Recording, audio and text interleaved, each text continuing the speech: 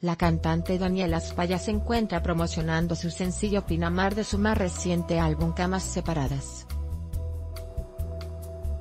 Daniela comenta que su material es un disco muy personal, sentimental y muy romántico, el cual se debe a la influencia que le ha dejado estar viviendo en México, lugar que la ayudó a sentirse más libre con la música, mostrar sus sentimientos y contarlos sin prejuicios. Hace unos años sentía que la música romántica era muy cursi, y me daba vergüenza decir que hacía música romántica, y poco a poco estar en México, y ver cómo acá son más libres con sus sentimientos, y muestran su cariño y afecto sin tantas trabas, eso hizo que yo empezara a relajarme explica.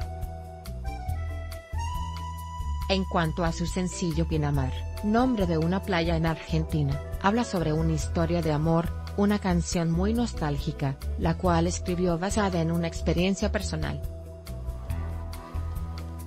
Un día estaba en mi casa, y me acordé de esta historia, y vino esta frase fue un verano en Pinamar, comenta. De igual forma, se encuentra emocionada pues el 30 de noviembre tendrá un concierto en el lunario del Auditorio Nacional donde hará la presentación de camas separadas. Estoy preparando todo con mucha ilusión porque es la primera vez que tengo tanto tiempo para preparar un show. Es el más importante hasta la fecha. Entonces sí tengo ganas de darle esa dedicación y ese cariño, ese detalle, dijo la intérprete. En cuanto a sus próximos conciertos comenta que se presentará en varias ciudades de la República Mexicana, donde convivirá más de cerca con sus fanáticos, pues tendrá firmas de autógrafos en algunas de sus visitas. Daniela espera pronto llegar a Mérida, pues es un lugar que ha considerado mucho, ya que tiene ganas de conocer, pues varios de sus seguidores son de esta ciudad. Inicios Daniela Spalla es una joven Argentina que radica en México desde hace 5 años, y quien desde muy pequeña supo que la música era su pasión. El primer recuerdo que tengo es estar en mi casa, haciendo como que había público, esto fue cuando estaba en el kinder, a la edad de 4 años, comenta en una entrevista para Diario de Yucatán.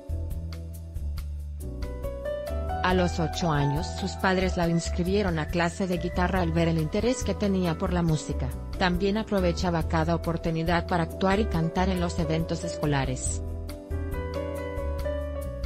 Su primera experiencia en el estudio fue cuando grabó un álbum de jazz, después comenzó a escribir sus propias canciones. Posteriormente, llegó a México a visitar y es ahí cuando se le presenta la oportunidad de trabajar con una disquera, con la cual grabó el primer álbum Ahora vienen por nosotros. Ese disco la llevó a tocar por gran parte de México, incluyendo festivales como Vive Latino, Pal Norte y Revolution Fest, y visitar varios países incluidos su tierra natal. Guión Suje y Tapia Esquivel.